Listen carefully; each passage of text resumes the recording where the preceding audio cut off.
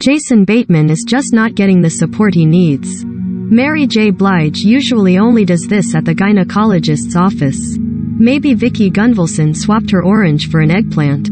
The environmental responsibility of enterprises. Ad Hitachi. Slideshow continues on the next slide. The environmental responsibility of enterprises. Ad Hitachi. The last time Jennifer Garner dumped something it was named Ben Affleck. Clay Walker is closer to his caddy than he is to his next number one song. Helen Mirren's trio is better than the Jonas Brothers. Does Alfonso Ribeiro ever get tired of playing second banana? Amanda Kloots is always having to steer clear of children, but that's enough about her the talk co-hosts. Take off with just $10. ADFXTM. Slideshow continues on the next slide.